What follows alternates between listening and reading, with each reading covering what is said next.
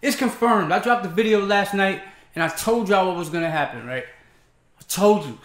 So Spike Lee's dead ass in the game. He's doing in my career mode. We got some things that I'm gonna show you right now is gonna basically confirm what I'm saying. Spike Lee's basically involved with the storyline of my career.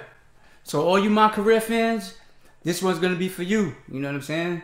Everybody that likes my career, this one's gonna be for you. And the story rumored to have it to where he starts off at high school and you work away from high school up into the NBA. Spike Lee's all in this bitch. He's all in it.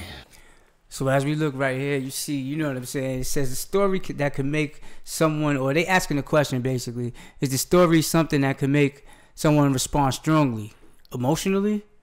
Will people cry playing this video game? So his response is basically it depends on the type of heart a person has playing the game. It's very dramatic. It's very very emotional. Yeah, man. So I don't know what to say right now. I just know I'm real excited for this game. I know it's coming. You know what I'm saying? Pause. You know what I mean? Now, this is one of the covers that we have. There's another one that has a single Anthony Davis on it. And then we have another one with all three Stephen Curry, James Harden, and Anthony Davis on it as well. You'll see them floating around. But here's the picture of the one that I saw as well, other than this one. Check it out.